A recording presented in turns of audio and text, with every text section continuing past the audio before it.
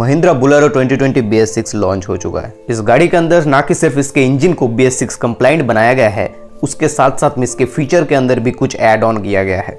लेकिन मैं डिसअपॉइंट हुई ये देखकर कि 2020 बुलेरो के अंदर कुछ न्यू एज फीचर ही मिसिंग है, जो अभी हर एक कार में ज़रूरी है। महिंद्रा शायद ये भूल रहा है कि वो 2020 में गाड़ी लॉन्च कर रहा है। इस गाड़ी को अगर आप देखें तो आपको लगेगा कि आप किसी 90s के गाड़ी में बैठे हुए हैं। बहुत सारे फीचर इसके अंदर मिसिंग है मेरे दोस्त, क्योंकि इस गाड़ी के अंदर हम सब एक्सपेक्ट करके बैठे हुए थे कि इसके अंदर अच्छे अच्छे न्यू एज फीचर को इंट्रोड्यूस करके बुलेरो को एक धमाल प्रोडक्ट के साथ में लॉन्च किया जाएगा। हालाँकि प्राइस थोड़ा बढ़ेगा, लेकिन ऐसा हुआ नहीं। प्राइस बढ़ गया, लेकिन इसके अंदर कोई भी सिग्निफिकेंट चेंज नहीं किया गया है।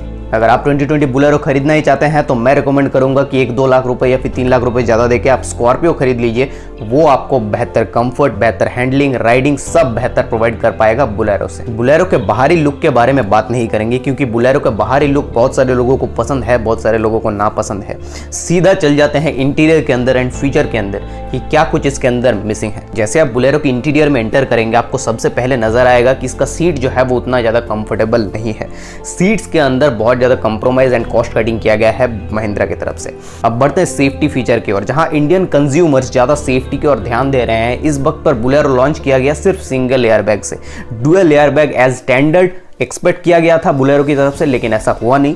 आपको सिर्फ़ सिंगल एयरबैग ही मिलेगा एबीएस ईवीडी जो भी है। लेकिन एयरबैग जो है, वो आपको सिंगल ही ड्राइवर साइड मिलने वाला है। अब बढ़ते स्टीयरिंग व्हील की तरफ़। स्टीयरिंग व्हील हालाँकि चेंज कर दिया गया है, लेकिन इसके अंदर कोई भी टिल्ट या फिर टेलीस्कोपिक नहीं मिलता है एडजस्ट आपको नॉर्मल सा स्टीयरिंग व्हील मिलता है, जो कि फिक्स्ड है। स्टेयरिंग पे कोई कंट्रोल्स भी आपको देखने को नहीं मिलते हैं। नॉर्मल एकदम बेसिक स्टेयरिंग व्हील आपको पकड़ा दिया गया है एक साढ़े दस लाख की एसयूवी में। अगर सेंटर कंसोल की बात करें तो आप नोटिस करेंगे कि इसके अंदर वही म्यूज़िक सिस्टम दिया गया है टॉप मॉडल के अंदर, जो आप ऑटो में भी देख चुके हैं। आप सोच के देखिए, साढ़े दस लाख रुपए आप खर्च कर रहे हैं गाड़ी के अंदर और आपको इस तरह के म्यूज़िक सिस्टम मिल रहा है। आपको नॉर्मल सिर्फ़ एक एम्पलीफायर टाइप म्यूज़िक सिस्टम दिया गया है, जो देखने में बहुत ही बुरा लगता है। एक दस, साढ़े दस लाख रुपए की आप गाड़ी खरीद रहे हैं तो उसके अंदर आप कम से कम इतना तो एक्सपेक्ट कर ही सकते हैं कि एक touch screen system top model के अंदर एटलीस्ट दिया जाए। हालाँकि ये म्यूज़िक सिस्टम ब्लूटूथ ऑफ़ सभी सपोर्ट करता है, लेकिन इसका जो डिज़ाइनिंग है, वो इतना भद्दा दिखता है कि पहला इंप्रेशन जो है वहीं पर खराब हो जाता है। क्योंकि इस गाड़ी के अंदर कोई भी बड़ा डिस्प्ले नहीं दिया गया है तो इसके वजह से रिवर्स पार्किंग कैमरा भी इस गाड़ी के अंदर आपको नहीं मिलेंगे। जस्ट अब इमेजिन करके देखिए कि आपने साढ़े दस लाख रुपए खर्च की किसी भी एक गाड़ी को परचेस करने के लिए।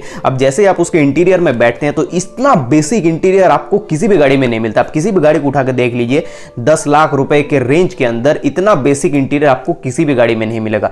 मैं रिकमेंड करता हूँ, थोड़ा ज़्यादा दे दीजिए और स्कॉर्पियो ले लीजिए, इससे बेहतर है। अगर लुक्स की बात करें तो वो एक सब्जेक्टिव मैटर है, किसी को पसंद आए, किसी को ना आए। लेकिन अगर साइड प्रोफ़ाइल से इस गाड़ी को आप देखें तो थोड़ा मोड़ा ग्राफिक्स में चेंजेस किया गया है। लेकिन इसके एलॉय व्हील्स का जो ऑप्शन है, वो इस गाड़ी के अंदर अवेलेबल नहीं कराया गया वही स्टील रिम आते हैं और उसी तरह के व्हील कैप को चेप दिया गया है। मतलब कि कॉस्ट कटिंग के हद होती है यार। एक 2020 में आप गाड़ी बना रहे हैं, इतने बेसिक फीचर के साथ में मतलब आप अगर इस गाड़ी को आप कहीं से भी देखें तो मुझे लगता है कि नए में इस गाड़ी को खरीदना कोई सेंस बनता ही नहीं है मेरे दोस्त। इससे बेहतर है दो तीन साल पुरानी आप सेकंड हैंड खरीद लीजिए। उससे बेहतर वैल्यू फॉर मनी प्रोडक्ट वो बन सकता है। क्योंकि आप सिर्फ़ सोच के देखिए कि आप अगर नए में बुलेरो खरीदना चाहते हैं और दस साढ़े दस लाख रुपए देके इसके टॉप मॉडल को परचेज किए, ना आपको एलॉय व्हील मिलेगा, ना आपको डीआरएल्स मिलेगा, ना आपको कंफर्ट अच्छा मिलेगा, ना टच स्क्रीन मिलेगा, ना आपको सेफ्टी में कुछ अच्छा मिलेगा। मतलब आप गाड़ी खरीद क्यों रहे हैं मेरे दोस्त? इस प्राइस सेगमेंट के अंदर आपको स्कॉर्पियो मिल जाएगा। थोड़ा ज़्यादा पैसा दे देते तीन लाख रुपए दे दीजिए, आपको स्कॉर्पियो मिल जाएगा। मैं आपसे रिकमेंड करूँगा कि अगर आप बुलेरो खरीदना ही चाहते हैं तो आप यूज्ड में इस गाड़ी को परचेज कर लीजिए। चार पाँच लाख रुपए आपको सस्ता भी मिलेगा। और नए में अपग्रेड होने का कोई सेंस बनता नहीं है, मेरे दोस्त। कोई फीचर इसके अंदर एक्स्ट्रा आपको नहीं मिलता है, जो आपको देखकर लगे कि नहीं यार, मुझे इस गाड़ी को नए में परचेज करना चाहिए या फिर बुलेरो को अपग्रेड करना चाहिए। हालाँकि बुलेरो के रफ एंड टफ एंड इसके ट्रक वाले लुक बहुत सारे लोगों को पसंद आते हैं, लेकिन जैसे आप किसी भी गाड़ी को परचेस करते हैं, आपके प्रायोरिटीज में सबसे पहला होना चाहिए कि इसका सेफ्टी अच्छा होना चाहिए, इसके अंदर कंफर्ट अच्छा होना चाहिए। दोनों ही बुलेरो के अंदर मिसिंग है मेरे दोस्त तो फिर क्यों खरीदेंगे आप गाड़ी? ठीक है फीचर में थोड़ा बहुत कंप्रोमाइज चलता है, लेकिन कंफर्ट में एंड सेफ्टी में कॉम्प्रोमाइज कभी नहीं चलेगा। अगर आप मेरे साथ सहमत है तो एक लाइक दे दिए। कमेंट बॉक्स में जाके मुझे बताइए, क्या आप साढ़े दस लाख रुपए दे के इस तरह के बुलेरो गाड़ी परचेज करना चाहेंगे? यस और नो और अगर चैनल अच्छा लगा तो सब्सक्राइब करके बेल नोटिफिकेशन को दबा लीजिए, ताकि आने वाले वीडियो के नोटिफिकेशन आप तक पहुँचे और आप गाड़ी ज्ञान कम्युनिटी के साथ जुड़े रहें।